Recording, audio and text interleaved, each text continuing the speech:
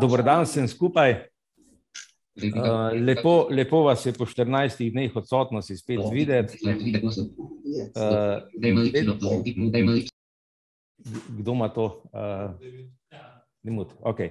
uh, to se pravi, uh, lepo vas je videti. Uh, jaz sem vesel, da uh, imamo tukaj gospod Danico uh, Pogačnik, ne, uh, ki je hči od uh, Aloza Levsteka, uh, soustanovitelja Zveze slepih.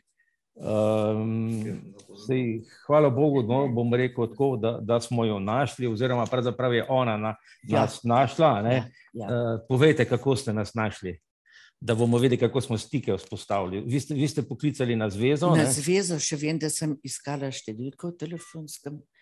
Na zvezo, ampak nekaj sem v časopisu brala. Ja, to je bilo pa okrog teh uh, um, dodatkov oziroma prispevkov ne, za pomirjanje podpisov.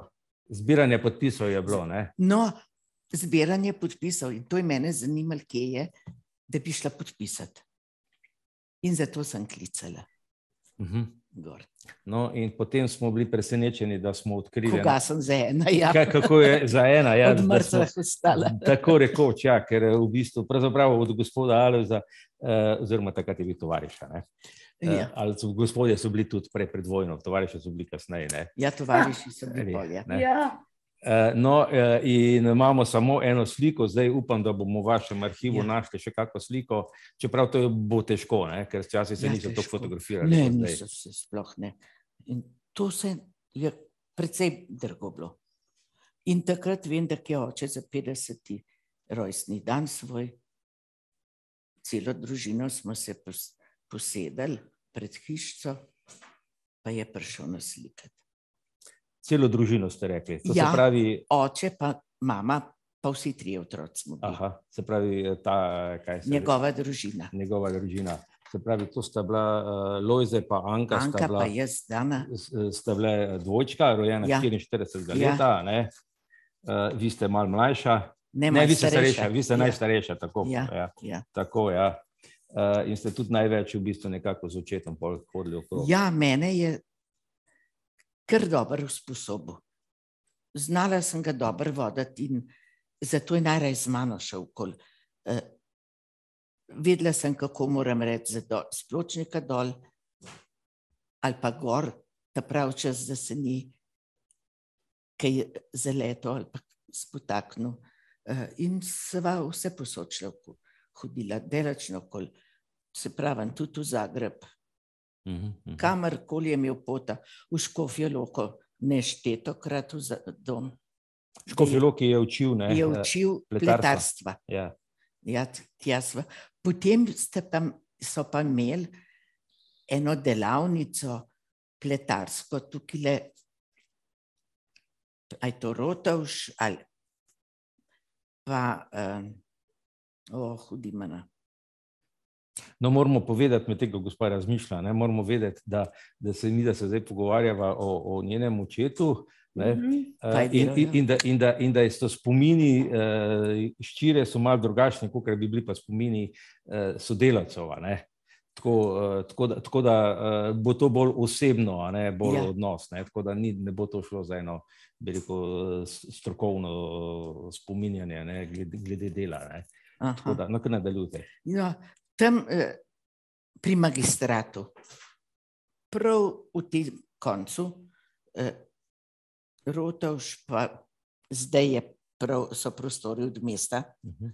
eh, tam v spodi so bili eni prostori za društvo slepih, ki so, ne vem, ali so se učili pletarstva ali so to že delali, ker s tem je dost posla, treba je imeti uh, to. Material, ne? Ta material, material je treba namakati. Ja, ja. Namakati, uh, rabiš prostor, to je kot dosti dela, preden ga lahko uporabiš uh mhm, -huh. za mhm. delo. No, tudi tam so imeli en kratek čas, tudi tam, kjer smo hodili. V glavnem pa v Škofijo Loko, potem je pa oče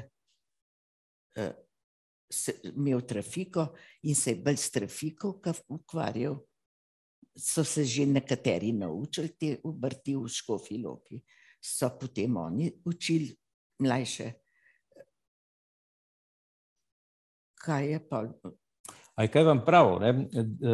deva začeti v začetku. Ja. ne? No, daj. On se je rodil 28.5. v Gorički vasi pri 1900. 1900, ja, ja, v Gorički vas. vasi pri Ribnici. a ne. Ja, Uh, in to je ena manjša vas, uh, Ja, v bistvu. Uh, ne, in tam je uh, oslepel pri. Uh, ja, jaz drugače vem, kako je on uslepil. Ne vem, tako kot tam piše. no, povejte, ja. Ja. Sicer je tudi sestra, ki ga je vozila na društvo, takrat je bilo na Gerbičevi, a je to prav?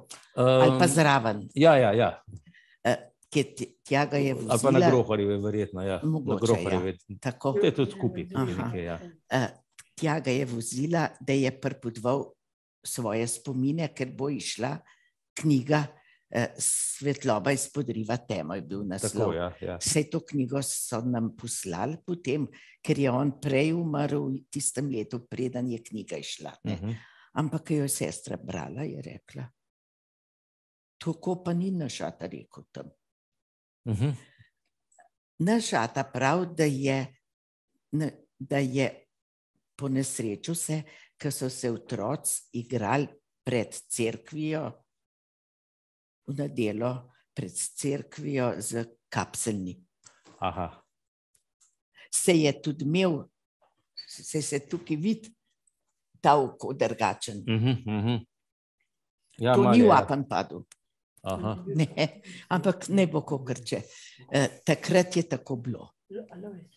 In tudi doma, v stric, brat njegov, ki je na domačiji bil, ki smo doskrat tja hodili, a te še pol delati hodil, on je znal, ima tisto ceno so metal gor na, na kmetiji, veliko je pomagal in kadar je bil tisti del, ki je Mjata prav prišel, ga je poklical, ne vem zdaj, a je bil, kakšen, v eni trgovini zraven so imeli telefon. Meni se zdi, da je tako bilo, da, ga je, da mu je sporočil, da naj pride, da jo delali. Uh, no, zdaj pa ne vem, kaj sem hotel. ja, povedati. eh, kako se je po nesreči, da je Ja, kako se je po nesreči. te pogovarjal? Tudi tam so se tako pogovarjali, da je iz kapselni, pa mu je kapsel odletel v oko. Aha. Da je Jaz- pol na ta način. Ja, Aha. in potem, joj, kaj je res. No, potem so ga vedel. peljali v zdravljenje v Ljubljano. Ja, ne? eh, čez par dni, ki je tu uh, učiteljica v šoli mu rekla, uh, očetu reči, da te ne jutri pelje v Ljubljano, ker tole ne boš mogel čakati. Gnojil se mu je. Au, aha. gnojil se mu je in tam se vidi na tem očesu, desen, se vidi, vidite, da je drugačka ta. Ja, ja, ja, je malo bolj. Ja. In to- mi smo vse skozi, odkar sem bila na svet, smo vedeli, da je Ata s temi s kapselom. stavljeni so taki mali metki, so prašilke. Ja, Ja, ne oziroma, vem. ja. Ampak, kje sem to pobrala? Tam sem to pobrala, kaj je pa res, pa ne vem. Uh, ti zdravnik, ki ga je operiral, mu je vzel ta zdravga ven.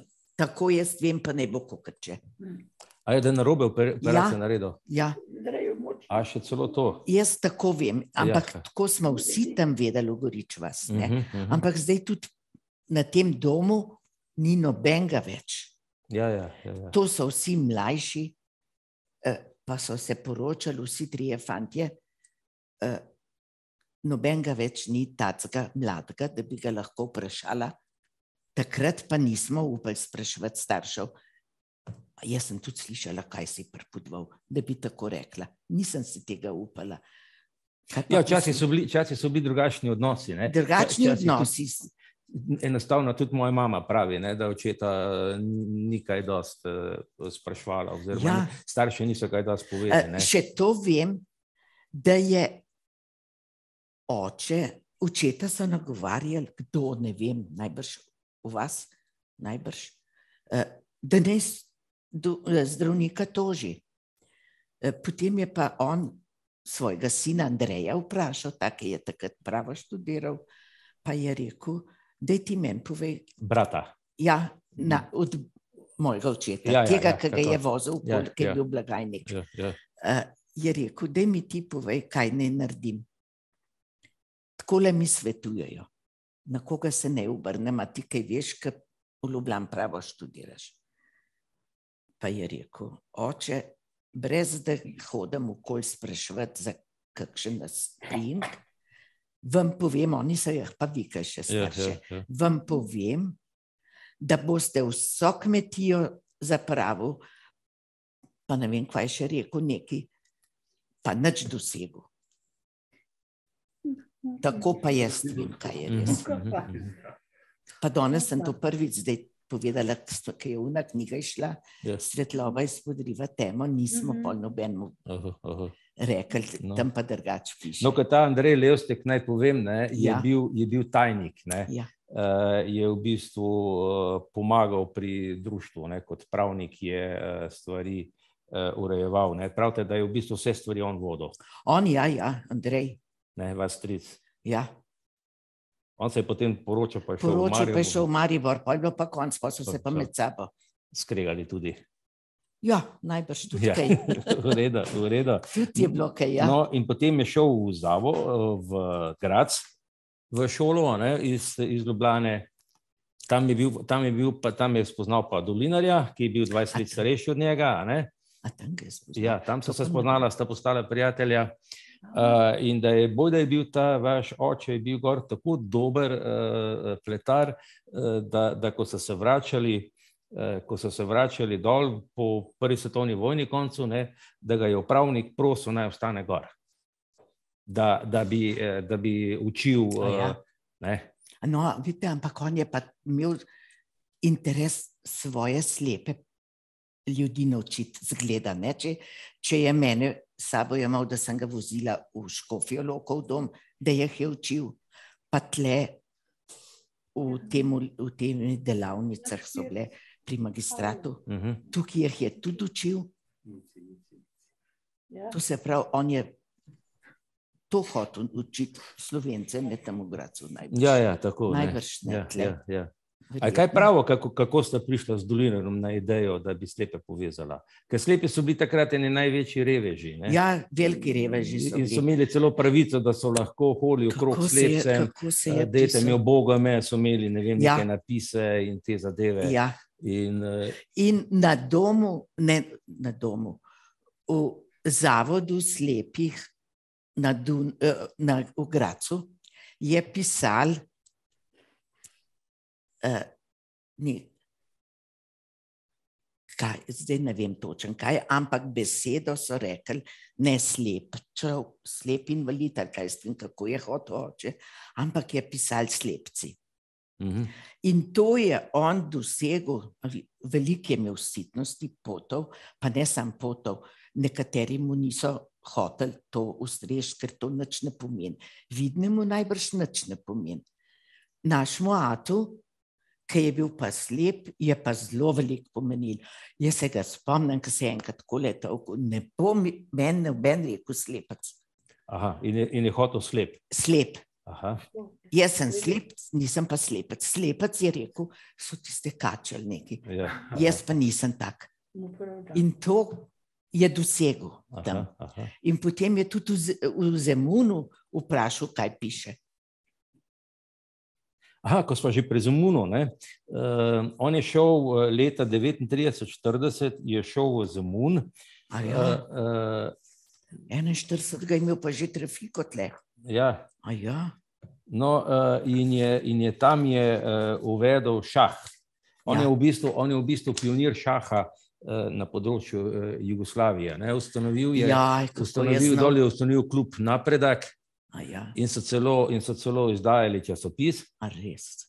Uh, in je celo Brajo krat, eh, kratkopise celo naredil. Kar ga v bistvu ne poznamo. Ne? Mislim, Brajo kratkopise zdaj čisto šel iz uporabe ven, a ne? sam še Mhm. mogoče par ljudi ga Mhm. bi. eh, No, in on je zaslužen za ta Brajo kratkopis. To niste vedeli, ne? Ne, nisem vedela. Ne. Mhm. Je, je. Um, Ampak on je bil že 41 leta v Ljubljani. uh -huh. To se pravi, da je bil hiter nazaj. Ja, Je kar hiter nazaj prišel. Uh, spomnim se. No, in najbrž je zaslužil kaj, ker je bil zelo šparov. aha, Pa delal je kar naprej.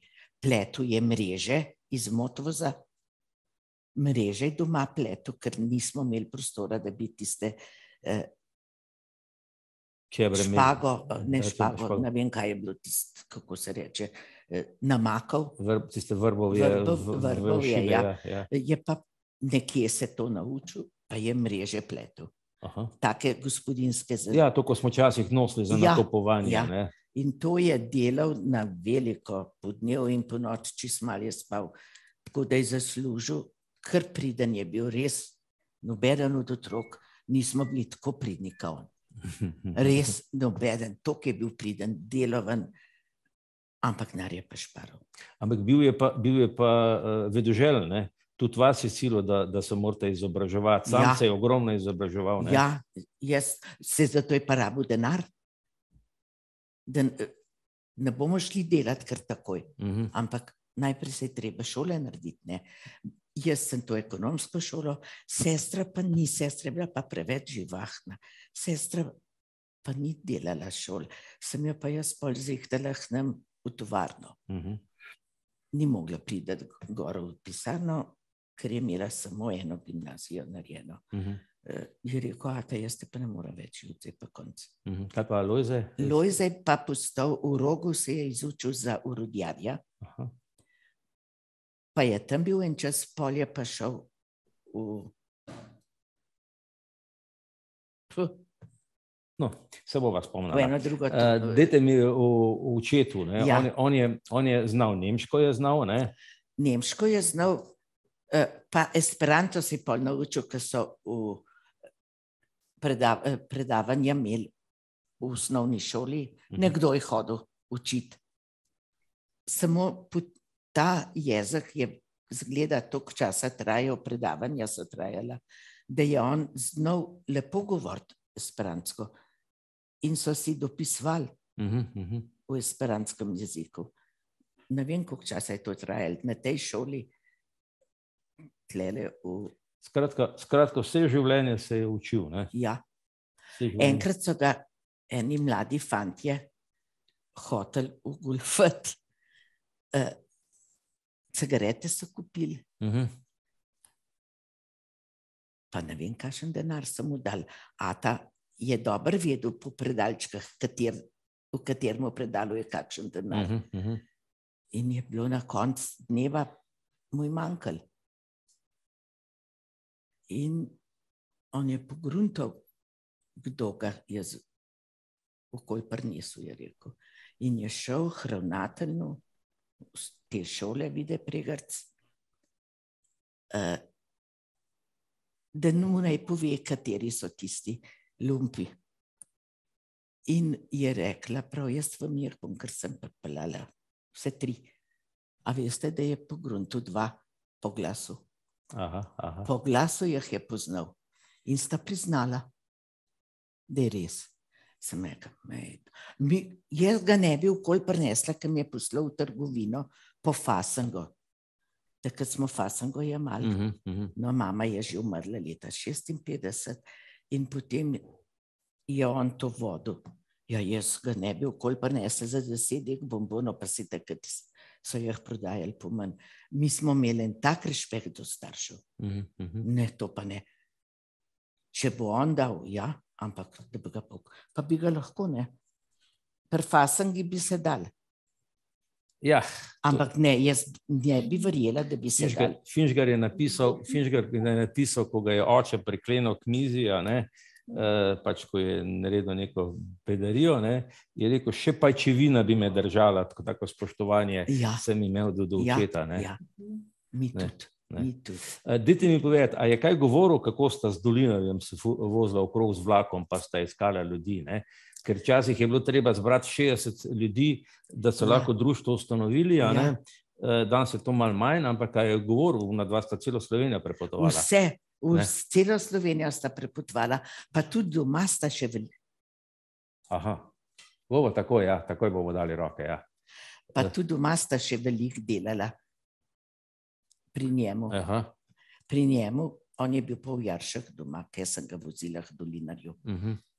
Ja, to, to ni ne brat, pa ne sestra, nista to delala.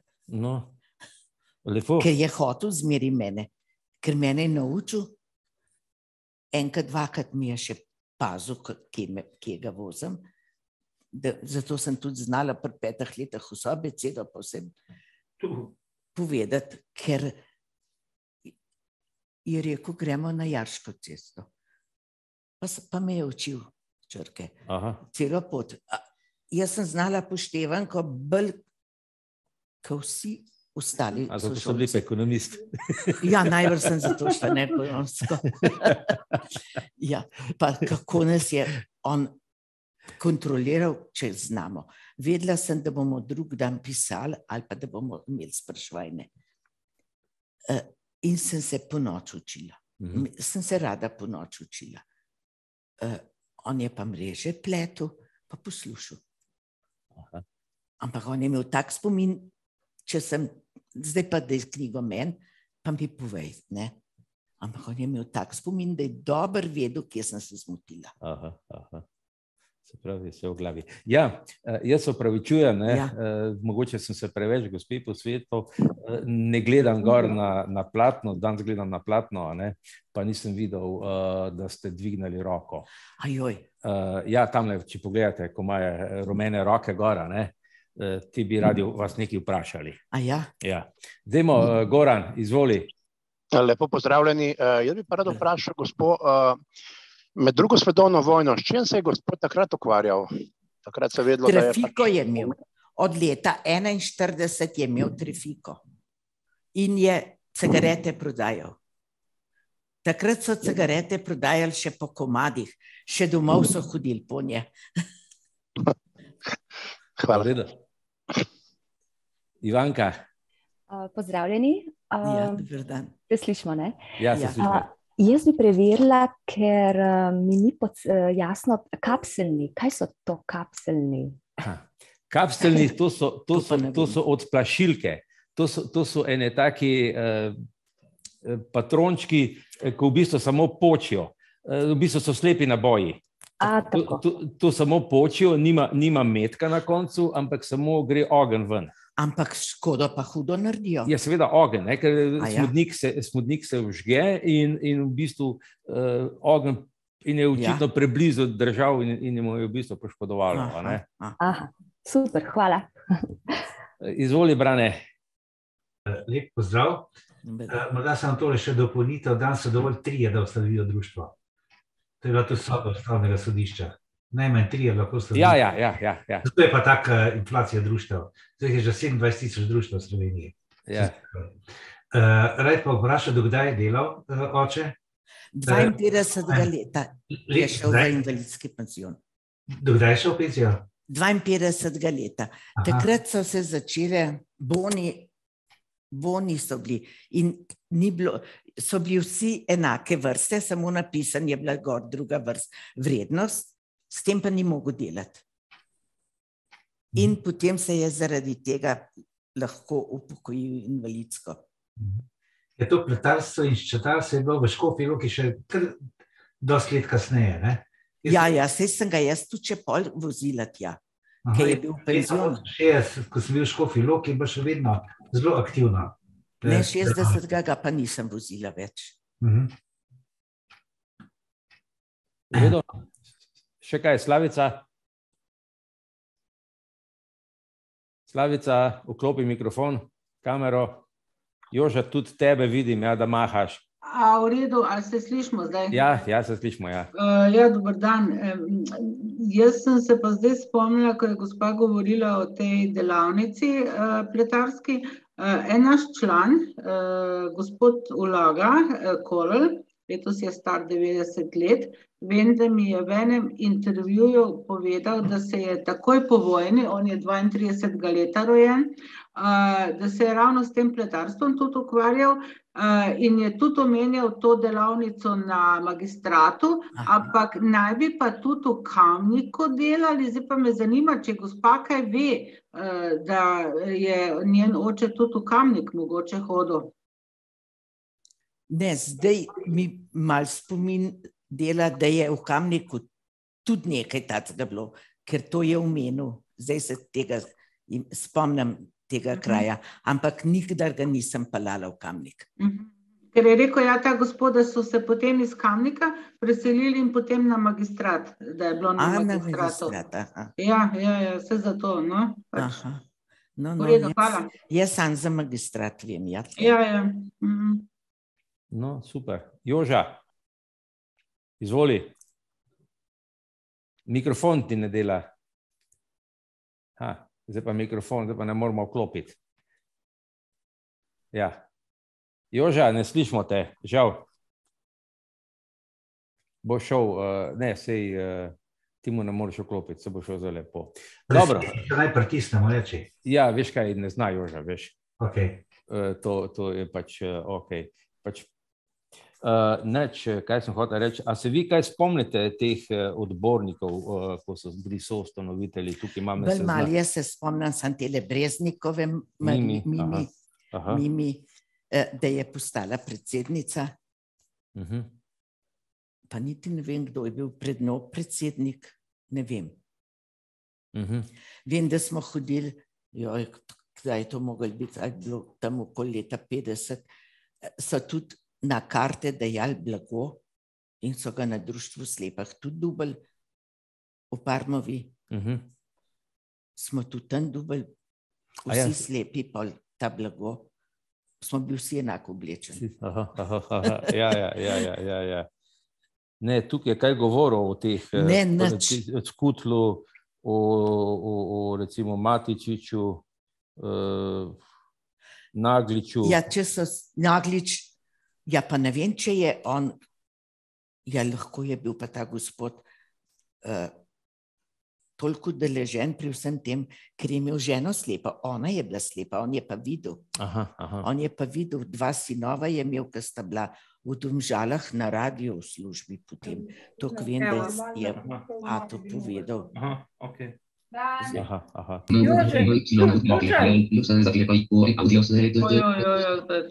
da saj bomo. Dušan, Joža, izvoli. ja, jaz bi rad povedal to, da jaz sem poznal njenega očeta Francija, ko sem bil kot, od, kot otrok. sem še Alojza. A- A- Alojza, no. Alojza, ja. Alojza Lojzeta. Levsteka, ker sem eh, kot otrok še hodil v Izolo in midva sva se veliko pogovarjala, pa A da je bil zelo v redu človek, tako da res, tudi za pogovor in vse in, in jaz kot osnovnošolce ga spomnim, pa A se kaj, pre, se kaj spomniš, kaj ti je, kakšne nasvete dajo?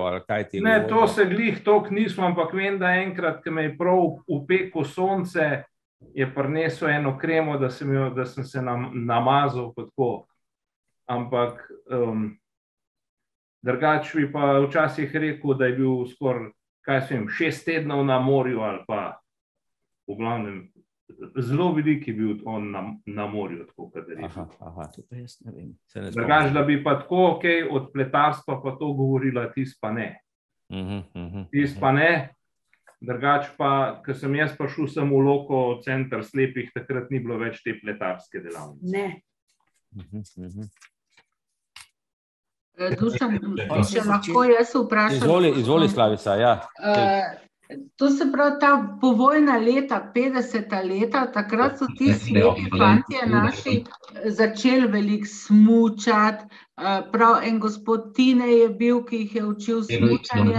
Zelo se je začel šport raz- eh, Zelo se je začel šport razvijati, pa me zanima, je vaš oče tudi kaj takrat se je potem ustanovilo tudi prav kulturno-prosvetno in športno-rekreativno društvo Karli Jeraj, ker za Karla Jeraja ste verjetno slišala. slišala sem, to se spomnim. Tako, no in me zanima, če se kaj spomnite tega športnega udejstvovanja, pa če je oče kaj Ne. sodeloval. Zato, ker sigurno ni sodeloval, ker je bil preveč zaposlen s trafiko, pa z delanjem mrež, da je še zaslužil kaj.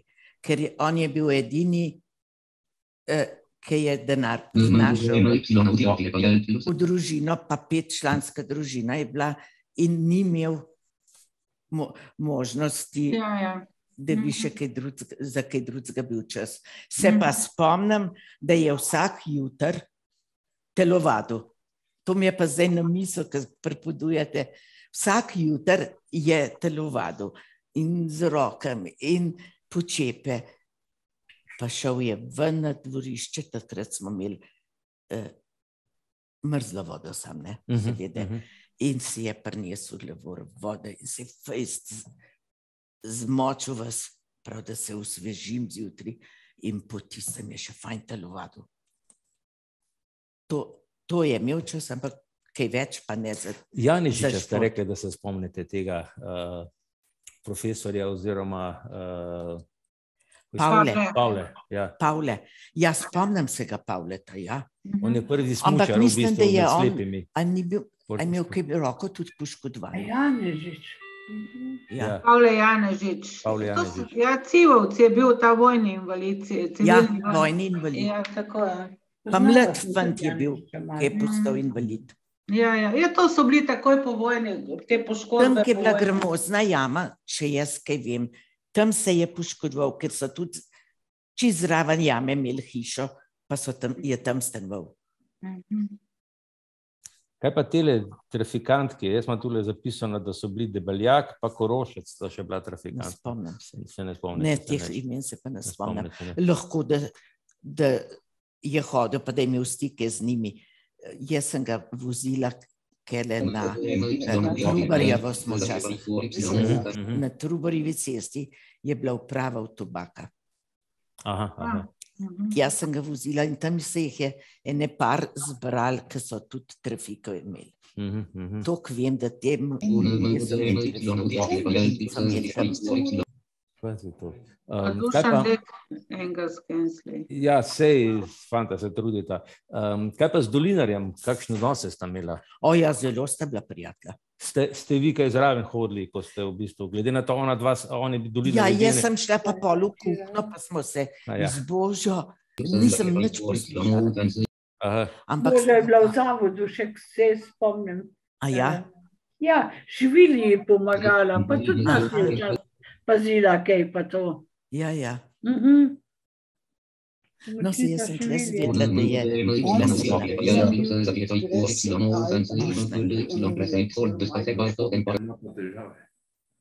kaj je to? Pa nisem videla, da, je, da ni bil ni noč slep. sploh ne.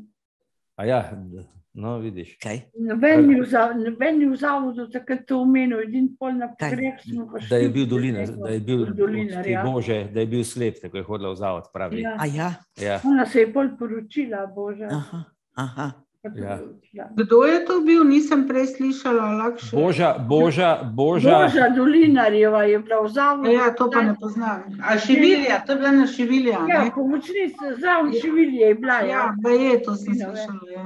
Jaz bi še pa gospod Anico nekaj vprašala. Ja, Eh, Glejte, zdaj jaz sem tudi mama, pa slepa, pa eh, recimo, kako je bilo, ko ste vi z očetom v tistih cajtih hodila okrog? Vam je bilo kdaj kaj nerodno, so vas otroci, recimo vaši sošolci, kaj se, mogoče se mal ponorčevali po otroško iz, iz tega? Eh, Tako, to me zanima zdaj kot mamo, eh, a ne v bistvu. najbrž so zdaj boljši časi, kar se tega tiče.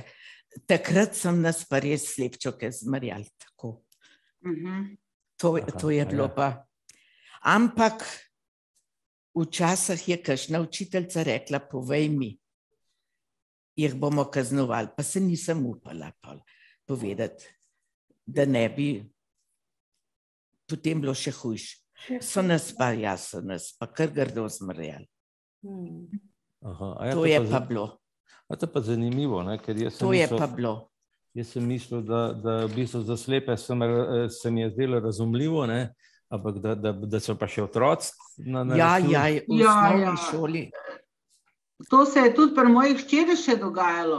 To se še tudi pri mojih hčerih, pa je to 30 let nazaj, recimo, A ne v bistvu. A veste, kaj otroci so zelo neposredni, zelo kruti. Vse oni mogoče v tistem hipu ne mislijo tako, Mhm. ampak pač neka obramba. Zdaj moja hči, ki je bila precej goflava, tako bom rekla, a ne, in je hitro tudi kakšnega kam, jo je pa potem na tak način hotel nekdo nazaj prizadeti Aha. oziroma Mhm. utišati. No. Ja, jaz se tudi očetu nisem upala povedati, doskrat me je bilo sram, če mu bom povedala kaj takega. Ampak Slavica, zdaj smo bili pri tem, eh, pa ne mi zamerta, pa karkoli, ampak meni se zdi, da sem enkrat jaz ta prispevek pos, poslušal, pa da je tvoja hčer zelo dobro odreagirala nazaj. Ja, da ja, to ja, to ja. Porcijo topet. Moja hči je v bistvu potem dobila eno metodo, ko je rekla, če jo kdo le preveč zajebaval. Je rekla, moja mama je na očeh bolna, tvoja pa nad očmi. No, se, ja, ja. Dobro, No, no. Možganska slepota je lahko hujša od očesne. tako. Tako, Eh, Gospodanica, povejte še vi sem to še zdaj mi, a je vaš oče belo palco imel skozi, ko sta hodila ali kako je bilo s belo palco? A Takrat je bilo še zelo malo belih palc, eh, oziroma eh, ljudi, ki so jo uporabljali, in Ata je kar naprej govoril, da jo ne mara, da bom ga kar jaz vozila. Tako da eh, ni bil prijatelj bele palce. Aha, aha. ni bil prijatelj bele palce, ne vem zakaj.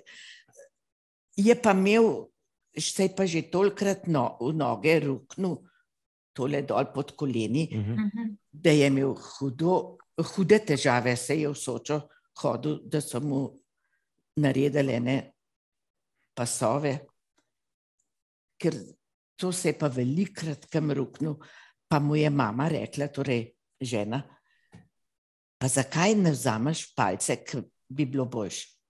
Bodno tih, bodno tih, če jaz vem, da jo ne maram. Res je bilo Ja. tako. Ni jo maral, ampak jaz pa nisem imela nobenega časa, res ne za otroke, da bi se šla igrati v zuni.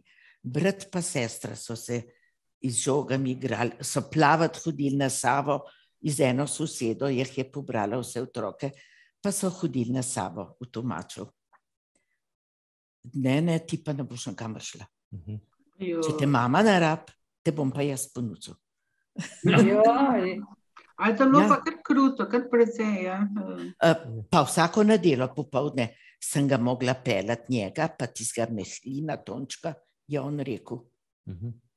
Na, eh, smo šli po mehlina v A Mihlina, ja, v Čivilje. V Čivilje Ja, Šivilj, jaz se je z njim poročila, pola ne. Ja, ja, v zavodu je bila pa je Mihlinka. Tam sta se spoznala, najbrž v domu Mhm. na, na Viču. A ja, ne vem. Ja, ja, tam sta se mogla spoznati. Samo ona je tako s ponosom zmeri pravila, moj mož je bil prvi telefonist v Sloveniji. A Tako, da, prvi je veste, bil, tako da veste. a Ja, res. ja. Tako da me je Mihlinka zmeri spodbudvala. Mehlinka, ja, ja, se je Ja, bila tako smo ji rekli. Kak, Ja, ampak je pa, eh, je pa dobro. je bila da- pa kot čivilja dobra, no, sej. Ampak Seveda, je bil bolj tudi dober, trda. On je bil tu dober, uh, on je bil tu dober. Bila je bolj trda, to ja. Jaz sem pa, ko sem bila stara 15 let, pa še nisem mogla iti tam v pisarne Ja. Hm. eh, pomagati, da bi kaj dobila službo, tako kot zdaj študentje, kam hodijo. Mhm. Takrat me je pa Mehlin zrihtel, pa hnemu v telefonsko centralo na Frankopanski, mislim, da je bil to Slovenija avto. Franko, ja. Aha. On je pa gor na vrh imel pa stanovanje, sta Mhm. pa je ženo pa stanovala tam. Aha. Ja. Aha. Ampak preden se je pa poročil, se, a vi veste, kdaj se je poročil? Jaz ne vem. Ne. A ne. Samo Mhm. vem pa, da sem jaz ga vozila na grad ob nedeljah. Oba, ne? Ja, Ata, Super, ja. Ata seveda. Eh, Pa tudi po Mehlina je šel. Mehlin nima družbe, je rekel, nobenega. In bomo šli po njega. Aha, aha. Tudi ne vem, če se je pol učlanil, kaj do, a je Mehlin bil kaj učlanjen, da je hodil na Ja, društvo. slep je bil, to je rekla Šivilja. Ampak ne vem, če je kaj hodil kam. Ne Tam, vem. kjer je naš ata hodil na Parmo, od njega ni bilo. To Zdaj premišljujemo, ona dva sta bila oba dva fina. Mhm, mhm. On je bil policaj, Aha, mislim, ko je bil viden. Ko, ko je videl. ja? Ja, on je bil Ko je pa policaj. samo mor delal, ne? Ja, punca ga je pustila. Ojoj. Se to pa. Ja, tako sem jaz doma slišala, kaj je Ata mami prepodval.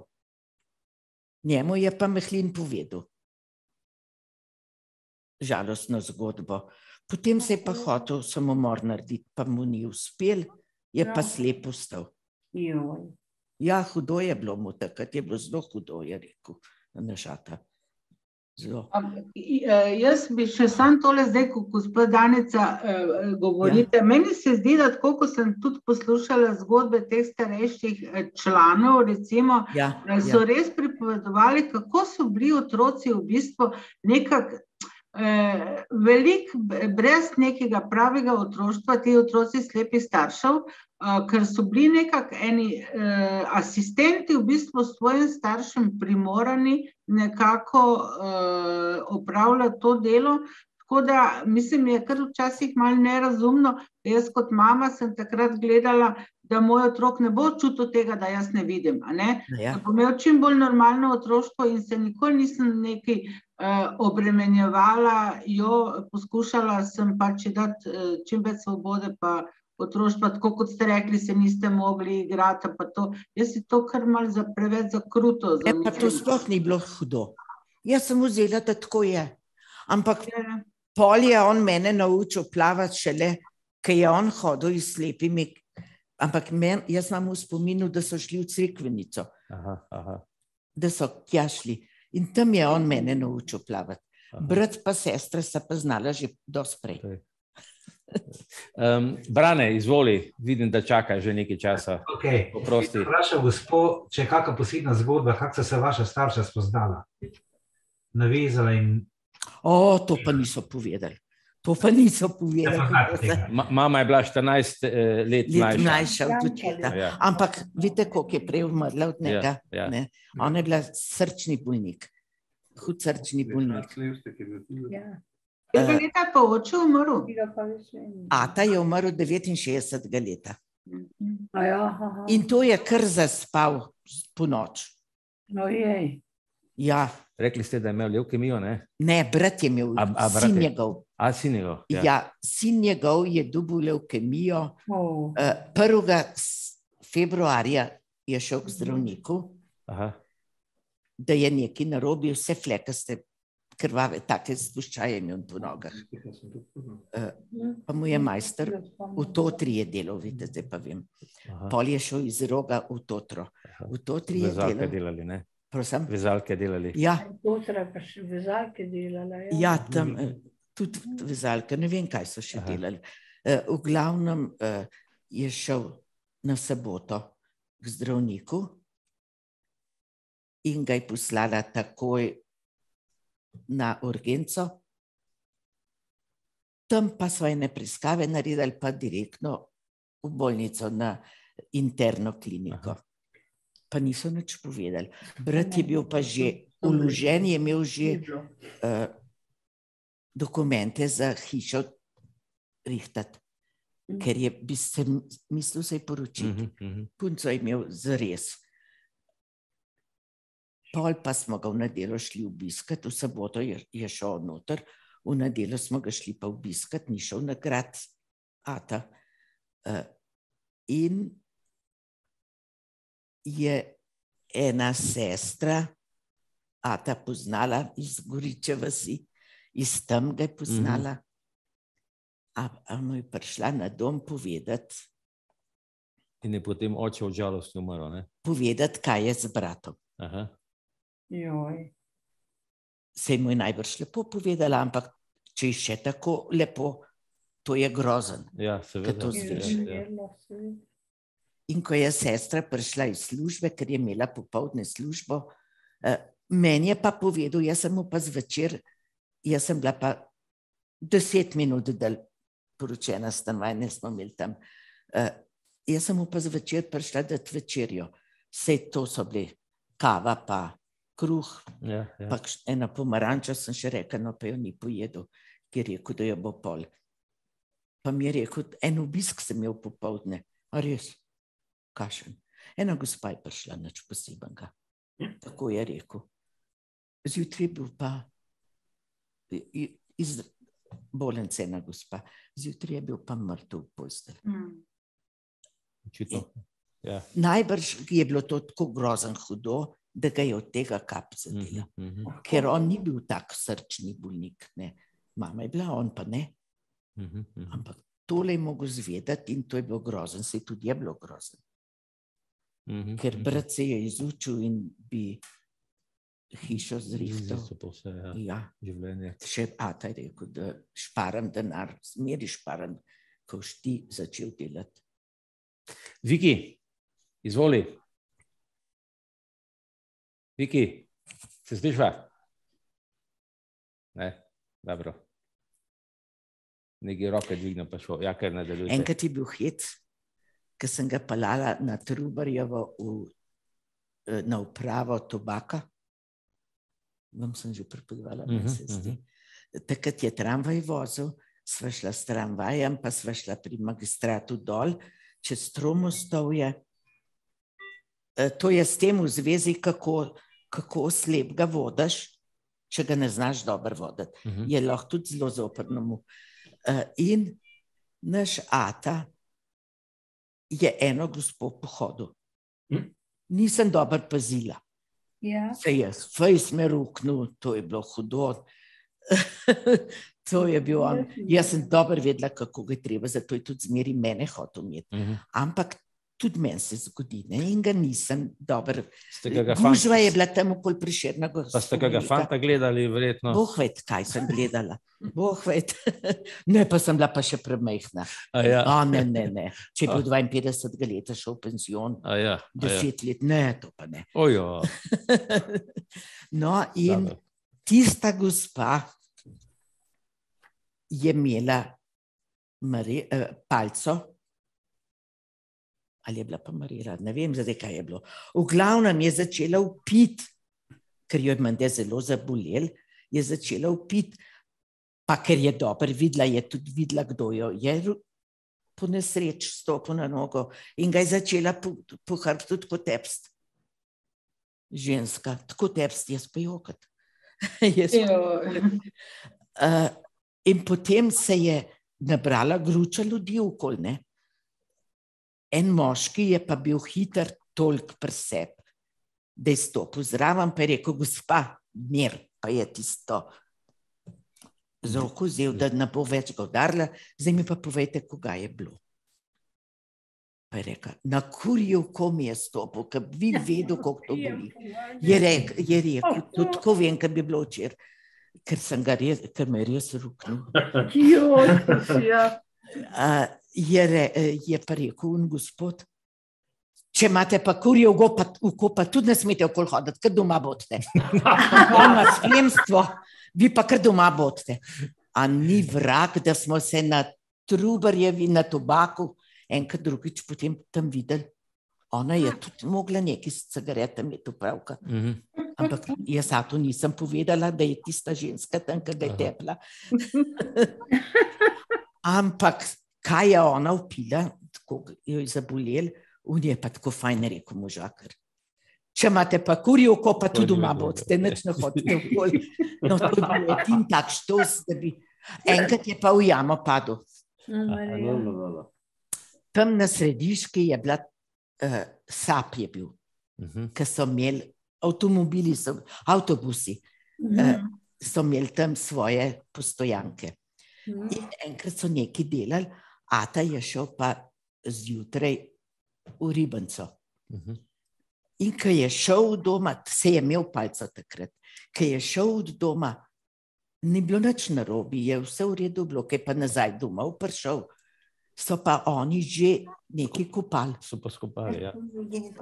S palco si ni mogel dosti pomagati, ne moreš si posod.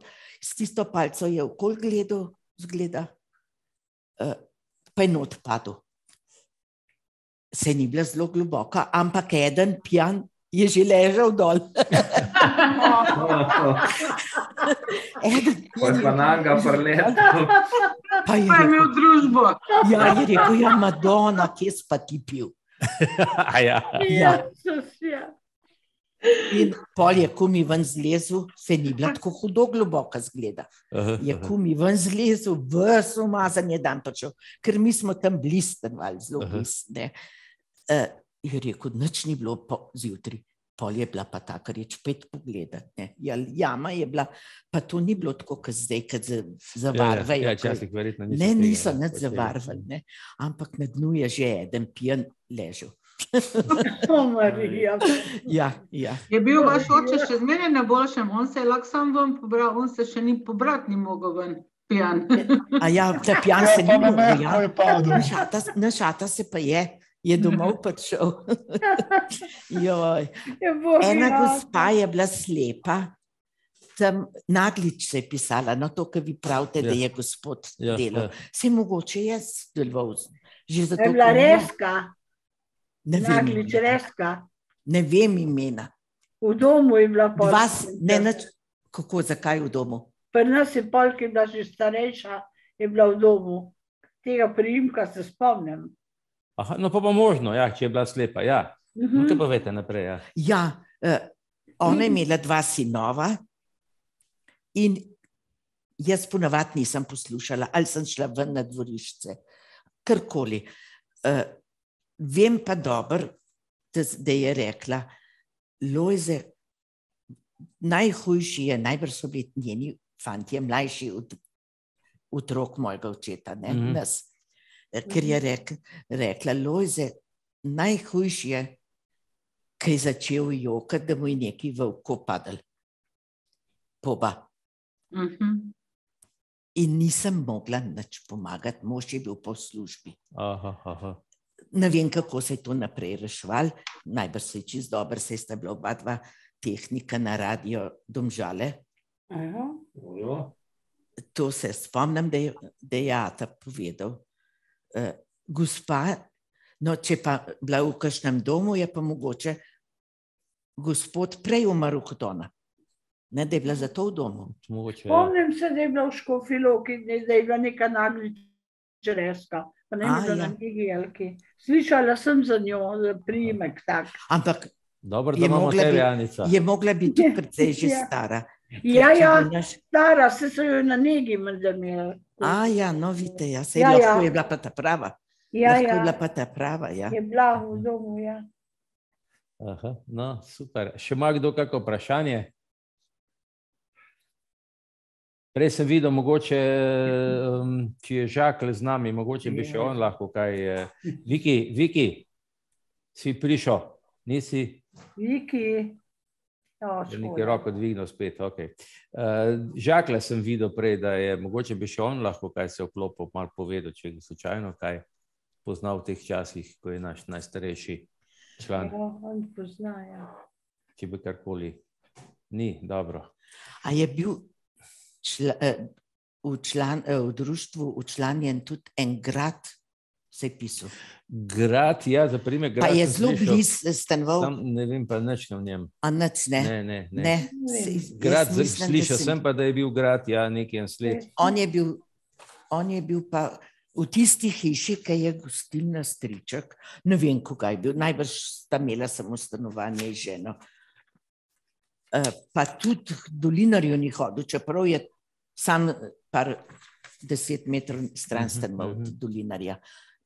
Samo našata je šel k njemu, pa jaz mislim, da ga ni mogel pripraviti, da bi se včlanil. Mhm, Jaz mhm. tako mislim. Ne vem. Dobro.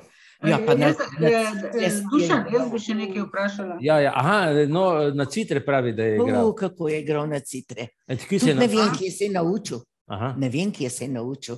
Ali se je v Zemunu. Gracu ali pa v Zemunu. Aha. Nek se je naučil, ker je povedal, no, mogoče se je pa v Zemunu, ker je povedal, ker ta- takrat je, ja, Ne, je bil, bil pa preveč star že za učice. Najbrž Mhm, mhm. 39 leta ste rekli, da je šel v Zemun. Ja, ja. Najbrž se je pol v, v Gracu. V Gracu ne. najbrž se je v Ja, ja, Gracu ja, ja. naučil. Krasen je igral, sosedje, polet, ko smo na vrtu sedeli, pa je zvečer pa pel je lepo. Uh, to so pel, vsi so imeli svoj zbor tudi. Mhm. Včasih je Lepi. moški zbor, pa lep. Ja, dober zbor je Na- bil. Na Ljubljanskem Se društvu. sosedje iz drugih hiš Aha, so aha. prišli pa poslušali, Lojze, dej še tole, pa še unole. To še moramo povedati. Ne? Eh, Zelo rad je šah igral, ne? to so povedala, Ja. ja. da je šah uvedel v Jugoslavijo, v Zemunu, a ne to eh, v, v knjigi eh, Zgodovina slepih Srbije pišejo, da je tam, da je on ustanovil ta klub, pa eh, časopis so izdajali, eh, pa celo je tega velemojstra Pirca je premagal. ne? Ja, ja, Ne, ste Ja. rekli. ja, tudi tega je premagal. On je res znal dober šah. No, pa se pravijo, da moraš biti matematik. Jaz take stvari tudi zdaj rada na televiziji, pa poslušam eno mlado dekle, ki je velemojster. A ja, ta vnukova, ja. Laura, vnuk. Ja, vnukova, tudi no poslušam. Ja. In je, ona je rekla, da moraš biti dober matematik. Boljš, ko si matematik, boljš ti laufa šah. znati. Ne? In naš ata je bil matematik. Matematiko. Mhm, mhm. Super. Slavica, nisi še Ja, hotela sem jih okrog šaha vprašati, pa si me mal prehitel. Ne, v bistvu, hotela sem jih vprašati, kam je hodil šah igrati s slepimi. V bistvu. Ali je tudi z videčimi igral, uh, ker šah Ja. ja. je res taka igra, ki jo lahko z vsakim igraš. Z videčimi je igral samo doma. Mhm. Samo doma, ker on je mogel igrati šah s takim šahovnico, ki je imela Prilagojeno. žebljičke, ja, pa je ja. noter vtaknil v tisto luknjico, Tako, da, ja. je, da ga ni premaknil. Ja, ga je ja. tipal. Ja, Ja, ja, tako je. Ja, pa mogel- črne so mal dvignjena bila na šahovnici. Ja, ja, Ja. ja, črna polja pa bela. Ja. Eh, Drugače pa hodil, eh, je hodil tudi tlen v Parmovi, so tudi šah igrali. To v Zagreb, ne? Ja, tam so imeli pa tekmovanje, pol. Mhm. so bili pa Hrvatje, pa Slovenci. Pa so tekmovanja imeli. Kaj je bil neki Matičič, ali kaj ste rekli? Ja, ne vem, se Ne zdaj ne spomnim, kaj Aha. sem rekla. Eh, Ali imam jaz nekje Te jaz, ko sem zgodovino mal tega KPŠRD-ja, recimo tega kulturno-prosvetno-športnega, ga je mal gledala, a ne v bistvu res, takrat so bili zelo močni v pevskem zboru in šahu. To je bilo ja. neverjetno, Ja, eh, ja. pa smučanje v bistvu.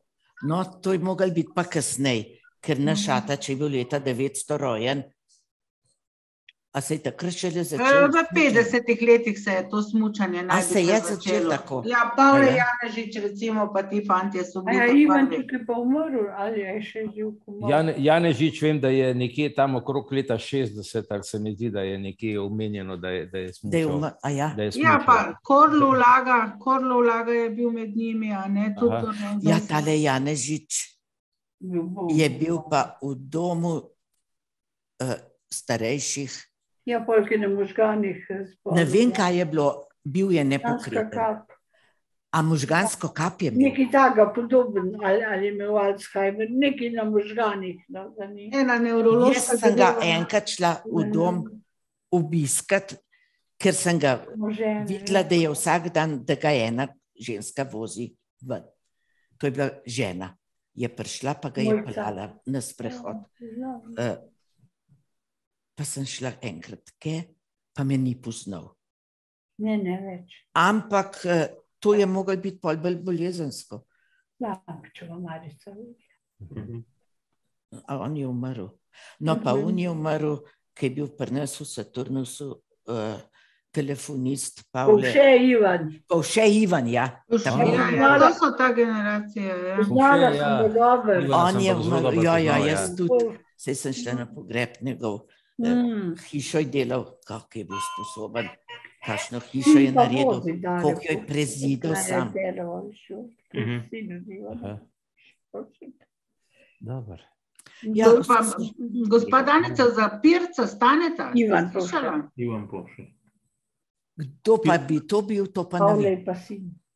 Ja, mogoče majčken mlajši, no, ampak precej tudi tako aktiven. A od našega Šah. ata. Ja, um, ja, ja, to ja. Uh, ampak je bil precej šah, pa pevski zbor. zato sem Ivanček, rekla. Ivanček, komovc. Komovc. Ne, nisem poznala. Jaz si mislim, Ivanček. da je sem naš rekla. ata vse sorte počel, dokler ni otrok dobil žene potrok. Mhm. To je Potem je- To je običajno, ja. Ja, potem je pa Mhm. dvojčka sta bila, Aha, mama Mhm. pa tako hudo na srcu bolana. Zato je tudi tako mlada umrla. aha. Mm. Se je imela 42 let Ja, je ja, umrla. ja, ja. in je sam ostal z nami. Ja, se zato ste bila verjetno tudi vi bolj obremenjena, tudi zaradi tega, a ne, ker je A mama. ne, jaz sem že prej hud. A ja, z- ja, ja. se ob nedeljah, ki so pa kdaj, ki nismo šli na grad, ali pa kdaj, da, tudi če, smo šli, če so šli, sem pa jaz doma mogla pa že to pred. Mhm. Mm. Oni so pa okol šli na sprehode. Ja. To, ja, ta Takrat, če ni bilo pralnih strojev, takrat je, takrat je mama namučila prvi, Še mi ne. največ je naredila, več pa ni mogla. Naprej sem pa jaz. Jaz sem pri sedmih letih znala že kruh za mesec, Mhm. ki smo ga nosili peč v sosednjo ulico Peku. Aha. Takrat se je tako delalo s kruhom. Ja, ja, to ni slišal. bilo v, pek, v trgovini še. Ja, ampak to sem slišal, ja, da se jih peka. Ampak zakaj doma ste ga zamesili, potem pa se je pa vzhajal. Pa, ja, pa zato, je- ker je bil prevelik, ne moreš da tudi tisti rod. Aha, A iz Ja, tega. aha, aha, zaradi tega. Aha. Goran, Ja, še enkrat, jaz Ja. ja. me pa zanima, kako je takrat bilo z Mašo, recimo crkvijo. Um, ali ste hodili redno, ali um, se tega Ja? Če jaz danes povem, iz, tako kot jaz čutim, smo preveč mogli hoditi, hmaš. Moj oče in mama sta bila zelo pobožna, Mm. zelo. In jaz sem zelo zamerila duhovniku na grobu, ki je mama umrla in nas je, najbrž smo vsi jukali. In nas je tu lažil, poznal nas pa je iz cerkve, se smo bili vsako nedeljo prmaš. Ja. Vsi trije, če ne bi se upala zlagati, pa da bi to rekla, da sem bila pa maš, pa da nisem bila. Jaz bi mislila, da on ve, pa tudi če ne vidi. ja. Ne, zlagala se pa nisem videla. Mislim, da tako kot preširen. A ja. Vse pa je bil parmaš, pa je bil musil. In ta duhovnik je na, na pogrebu rekel, ki imajo govor, rekel, eh, potolažite se eh, s tem z mislijo, da ima Bog dobre rad, zato jo je pa vse poziv. Kaj sem bila jaz Vedno takrat jezna? Kaj sem bila jaz takrat jezna na Vedno tistega? pravijo duhovniki. Ja. Ja, ko se pa to prav sem rekla, saj sem mu rekla. Mi jo imamo tudi rad. Tako. Ja. Mi jo imamo tudi rad. In od takrat naprej je imel Ata z mano dosti posla, da je hotel mene prepričati, da ne grem maš v nedeljo. Ja, Nisem odpor hotela iti. dobila? Odpor, Prosim? odpor ste dobila do cerkve. Odpor sem dobila in še danes ga imam. Sam to večinoma duhovniki pravijo, veste, da ima Bog dobre ljudi rad. Ja, se slišim, kdaj, ko To ni grem na bil edini. pogreb. Ampak veste, ker pa tako mlad, mla- majhen, da Ja. zgubiš edinga, ki je videl, ali pa Ja. se Mama, Ata ne, je pa mama poslužil, pa ja. pa mama. Ja, Ja. ja. Ja, ne, me jaz nisem mogla to ja. prenesti. Ja, ja. Ja, ne, če je človek čustveno ranjen, mu taka tolažba nič ne pomaga. Nič ne pomaga to, nič ne pomaga. Ja, ja. Ja, no, vse sorte. Uh, Ata je pa res bil zelo pobožen. Uh, ni hodil med tednom, ko imaš to ne. Ampak vsako nedelo, pa za vse crkvene praznike, pa ja. Ja. Pa če je še toliko Pa, špara, pa ste te crkvene praznike praznovali, glede na to, da včasih ni bilo to tako. Uh, Ja, z- Božič smo pa jih praznovali noč, ja, zato, pa- ker je bil toliko pobožen oče. Jaz se dobro spomnim naše sosede, težka partika je bila, Hm. tudi Polis, to vidio Tomšič, so, jo, so se obiskovali. Eh, Mhm. Je mama povedala, to je pa ta, ki smo na vrtu delali. O, je re, sem rekla, joj, a to poznala. Ja, ne bo, ne bo ta mene ne pozna, k hodim v cerkev. A, ja. To je ja. bilo to. In ta to, to, Tomičeva, ne vem. Tomič, soseda moja. Vida Tomšič. Ne, ta Ne, soseda. Zora je- Tomič. A Ne, Zora Tomič. ta soseda moja, Fani, eh, je bilo tudi neki na Tomič z enim eh, srpskim generalom, se je tlele iz eh, poročila, pol, ki je mož umrl v partizanah. Je eh, enkrat, najbrž je bilo to velikrat, ampak enkrat je pod mostičkem, tam, kjer smo mi mogli iti po ulici, pa pod mostički šel pa proti Maš, cerkvi Mhm. je na drugi strani mostička stala, pa je rekla: Ja, levstek. Se nas je poznala, ne, če smo bili čisto sosedje. Ja. Veste, to je pa groza. Otroci morajo ob taki uri spati. To se pravi, da so to kontrolirali. So, ne. Ja, so ja. to kontrolirali. Ne? Ampak on je pa rekel, se tudi vam ne bi škodovali spati. On se je zmeri izgovoril nekaj, znal se je Se pravi, bil, bil je inteligenten človek, Ja, je bil inteligenten. Ne. Ja, ja. pa razgledan te zadeve. Zelo fajn. No, Ja, vsako sredo, ko sem časopise brala, tam si je on tudi rekel, ne bom na časopisa kupoval, zdaj bomo ga že na društvu tega le dubali. Pa boš tam prebrala, pa povedala, kjer bomo povedali, ker naslov ne zanima, pa boš prebrala tisto stvar. Mhm, mhm. Ne, tako da on je vs, za vs, z vsem stvarmi bil na tekočem. Ja, pa na društvu slepah so dobili, ne bom rekla ta prvi, ampak eni med ta prvimi okoli leta 50 radije, kosmaj. Aha, to, sem, to so še v zavodu imeli, sem da še jaz. No, vidite, Ja, smo ja. radio kosmaj Mhm. uh, in Dosta. tako naokoli Ja. nas sosedje niso imeli radija. Ata ga je pa že imel. Aha, Preko društva slepih so jih Mhm. lahko kupili. aha. Najbrž je bila tudi ugodna cena. Eh, So jih lahko kupili in on je zmeri poslušal, pa tudi poslušal je eno po noči, koliko po noči so bile na angliški postaji, je on slišal tudi nemško. Ja. Nekaj je bilo, ker je zmeri politiko poslušal. Aha. je politiko je poslušal. Ja, ker takrat je politika pri naših poročilih bila drugačna kot pri, pri tujih. Ne? No, on je pa zato pol tuje postaje poslušal. Ja, ja, eh, to je vse imel, ampak eh, politika ga je zelo zanimala, ampak bil je pa res pobožen, tako da to ne gre tako skrb, ne vem zakaj. Mhm. Ne, Se vem. pravi, radio Vatikan je poslušal potem. Ne? ne, to pa nisem slišala na kol, da bi poslušal Vatikan. Po noči je Glas poslušal. Amerike, glas, Glas Amerike. Je Glas poslušal. Amerike je bil včasih zelo Ja, glas, Ja, glas ja. Amerike je poslušal, ja. ampak to je bil po noči. Ja, ja, ja. Ko se takrat se je dobil na srednji frekvenci, oziroma na da, kaj so že Ja, bili. ja. Srednji val je bil čas dober. Pa kratki val, kratki val. ja, tako. Takrat, Pa veste, kje je gosp, teli gospe, bom rekla, ki je starejša, ki prav, da Anica, tle sem bila. Anica, A kam se skrila? Ja, Ja. ja. A veste, kje je gospo se pa jaz spomnim, kot otrok na društvu slepih je bila Ja. velika, jo je mož pripeljal, dobrega moža imela. Vilma, Kraljev, ne, kraljeva je videla. Ne, ne, Vilma je videla. slepa, ne, ne, nič ni bilo izpetje, mislim. Vilma je bila Vilma, slepa. slepa, Ne, sem- pa lepa ženska, lepe, velnaste lase imela, ampak moža A je bila mogoče Jelka?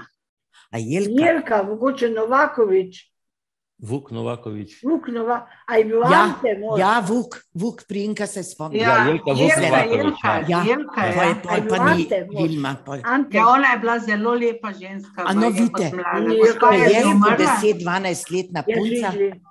Mhm. sem rekla, kako je ta lepa ženska. Jelka je bila baletka, kot je videča. Ja, Kaj je bila? ne vem. Baletka. Baletka?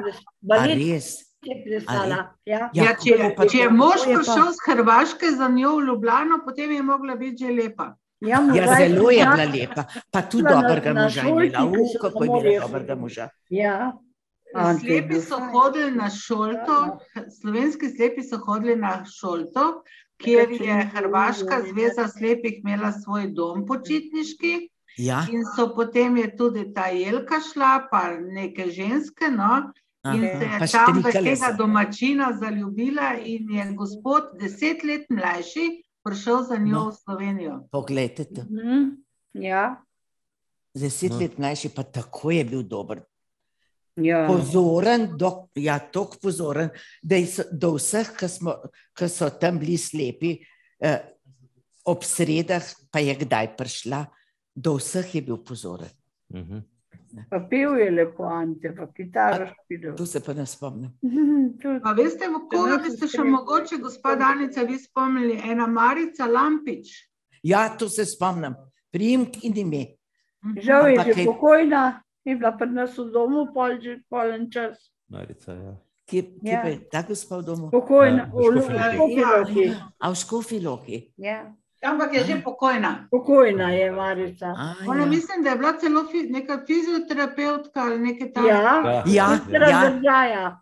Mhm, Petra država. Ona se je kot slepa iz, eh, Iz, iz, izučila za Ja. fizioterapeutka. Tako, ne, ne? Ja. Ja, spomnim, ja. V Mm. Beogradu, pol pa še v Ljubljani Ja, naredila to šolo. nekaj. Dobro. Ja, takole. No, v redu, bomo Nekaj počasi končali. Ja, super. Nekaj Hvala vam. le. Hvala vam. Malo smo zavrteli čas nazaj. Ja, Ja, Janica, je lepo. hvala vam, Ja. res ste Ja. lepo uh, vam. Tako Ja. ste lepo risali. Mal sem znala se Ja. spomniti, malo se No, je saj dal. sem, tako kot sem rekel, ne, mi smo se bolj spominjali kot od starša. Ne, eh, Ja. ker, če bi to šok raziskoval kot sodelavec, bi bilo malo drugače. Ne. drugače, ja. Ampak se tudi, eh, bi rekel, tudi to, da je bil dober oče, Ja, ja, je, je, tudi, je tudi pomembno. Zelo dobro. Mrz, boljši kot mrz, kere, od katere moje vidne sošolke. Ker so No. imeli doma težave, ali je bilo pitje, ali je bilo varanje. Pri nas doma tega nikoli ni bilo. Ja. Enkrat, sankrat se spomnim, da me je poslal v gostilno, tri hiše naprej, v gostilno papir. Aha. Mislim, da so imeli nekaj, da so špricali včasih, ne vem kako so tiste flaše bile, da so dubo pir, da sem ga dan prinesla. Ampak, ker sem prišla, ker se mu je tismu uh, ke, uh, človeku, ki je imel to gostilno, čudno, da je poznal meje, ampak kako da sem jaz prišla Aha, k njim aha. v gostilno. Je rekel, ne, nimam. Ja, kdo ti poslal je najprej, rekel sem ga ata. Pet nazaj povej, da ga nimam, da imamo pa ne samo pivo. In zato sem dolga leta vedela, pir je pivo. Tako Aha, kot cukor. A te pol meni rekel, veš, to je pa tako te zafrkno, ker če rečeš cukor, pa sladkor. To sem si, Tukaj pa sladkor, ja. ja, to je na isti način prav. Ja, se je. Ja. Ja, seveda. On je Kaj pa je bila takrat otroška pijača, malinovca, ne pa krahar. Ja, malinovci, ja, seveda. Kraharle, Ja.